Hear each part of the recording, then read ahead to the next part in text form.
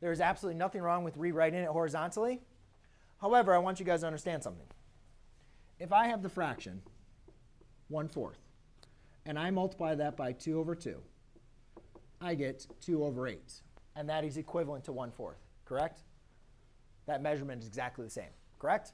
So as long as I have a fraction, as long as I multiply a fraction by the same number in the top and the bottom, I just produce an equivalent fraction, correct? Yes?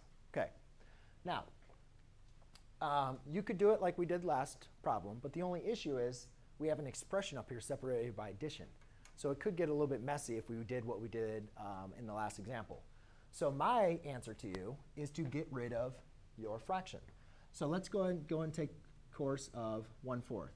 To get rid of this fraction 1 fourth, to get rid of it, what we could basically do, or if we wanted to get rid of it, let's say we have 1 fourth x equals 2. Right? To get rid of the fraction, as long as we multiply by 4 on both sides, again, you're not changing the equation, are you? As long as you do one thing to one side and you do the same thing to the other side, you're not changing the equation, are you? Right? So that's what we call equivalent equations. So equivalent equations and equivalent fractions are very helpful. x would equal 8. So if you have a fraction, if you multiply by 4, um, that will get rid of the fraction. If you multiply by its reciprocal, that gets rid of the fraction. Now,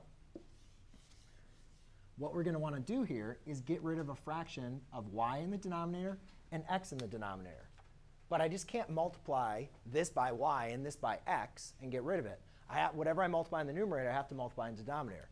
So what I'm going to do is multiply by the LCM again. And the LCM in this case is xy. So when I multiply the top and the bottom by xy,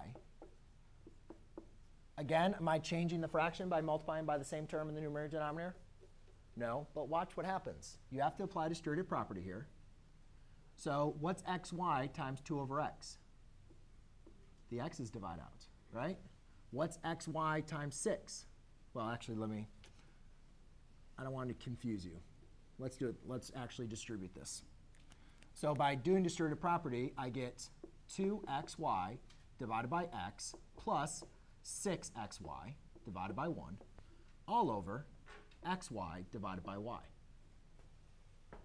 You guys see how I did distributive property there? Does everybody see that? Kind of? Yes, no? Now we can apply the division property. The y's divide, or the x's divide out. Nothing divides out there.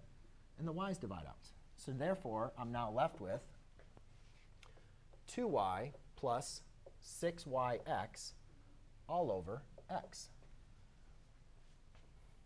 which they could write in an equivalent form. You could, you could distribute the x to both of those terms.